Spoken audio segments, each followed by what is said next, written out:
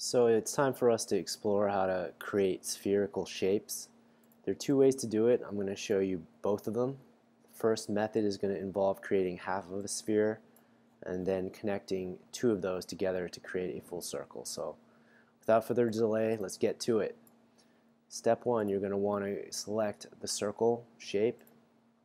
Click once, move to the origin, click once, and drag it out to whatever dimension you want it to be. For this example, it doesn't really matter what that is. Just like when we were creating um, the cone and the pyramid, you're then going to want to draw up a vertical line. But this time, if we're creating a spherical shape, it's extremely important that this vertical line mat matches the radius of our circle. So we're going to go ahead and we're going to measure that using the measure tool. Move to the origin where it says center and draw it out till you meet the side perimeter. So in this case we have a squiggly line and then 98 millimeters. The squiggly line stands for 0.5 of a millimeter which is perfectly fine for us to achieve because what we're going to do is select the line tool, move to the center, start dragging it up along the vertical axis, then type in 98.5. You'll see down in the bottom corner where it says length, we have 98.5, what we typed in earlier there. Then press enter, and there we have our line of that length.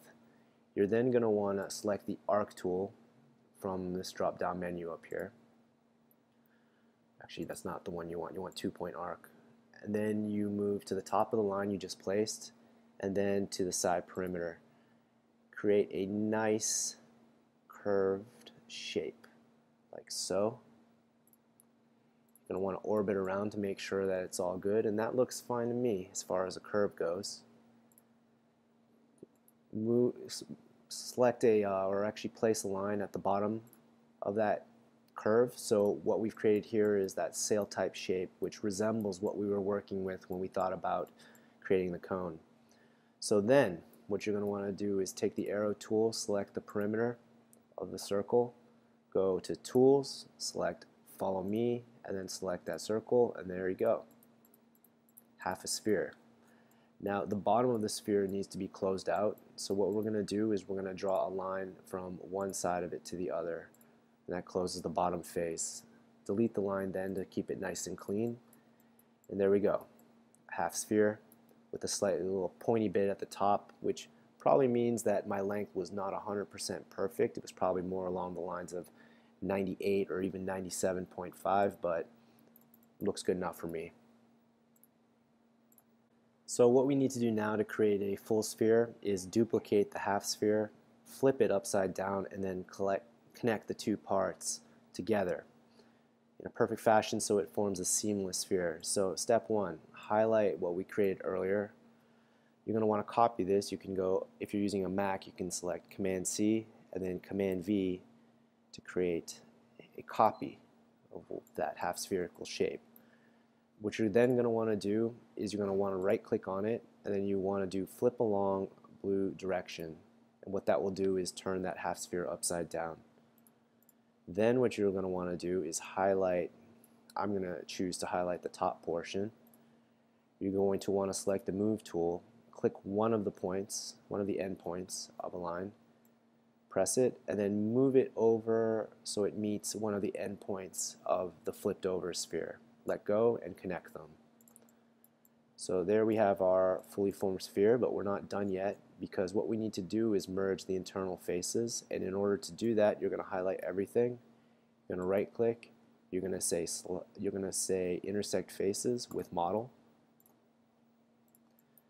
and that should be reasonably good so in order to check and make sure that this is a solid shape I'm going to go to tools and solid inspector I have one internal face which I tried to remove earlier but this extension will fix it for me no errors, everything is shiny.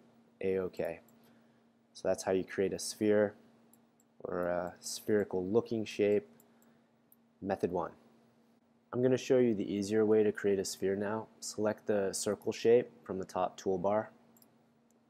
Move the uh, cursor over the origin and drag it out to what dimension you'd like your sphere to be. My radius of this sphere is going to be 30 millimeters.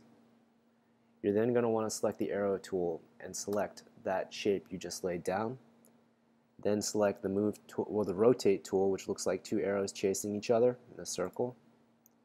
Move to the center, uh, the origin point.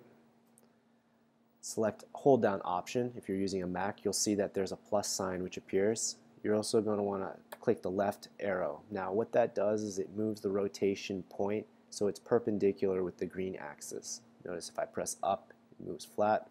If I press right on the right arrow, it moves so that rotation is perpendicular to the red axis, but let's stick to perpendicular to green.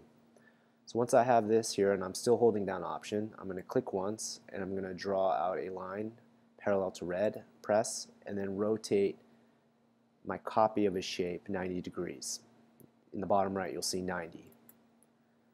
Once I've done this, I should have two interlocking um, flat circles what I'm then going to do is I'm going to take the arrow tool, the selection tool, select the perimeter of one of those um, circles.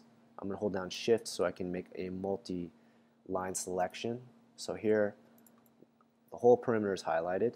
Then I'm going to go to tools, follow me, and then select the other two-dimensional circle, circle inter interlocking with that flat vertical plane. Click once and there is my sphere. Now you'll see that it's dark gray and what that means is SketchUp's interpreting this whole sphere as an internal internal face when we really need it to be an external face.